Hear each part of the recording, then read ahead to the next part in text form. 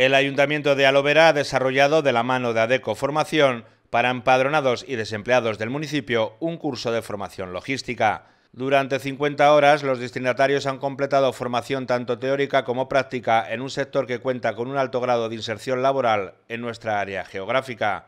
Impartido en horario de mañana por parte de ADECO, se ha dividido la formación en cuatro bloques conducción de carretillas y lavadoras, preparación de pedidos por radiofrecuencia, prevención de riesgos laborales y módulo online de manipulación de alimentos. En total han sido 15 alumnos los que han superado el curso formativo y ahora afrontan un nuevo horizonte laboral en este sector. Ponemos todos los recursos de formación y todo lo que podamos poner para conseguir este objetivo.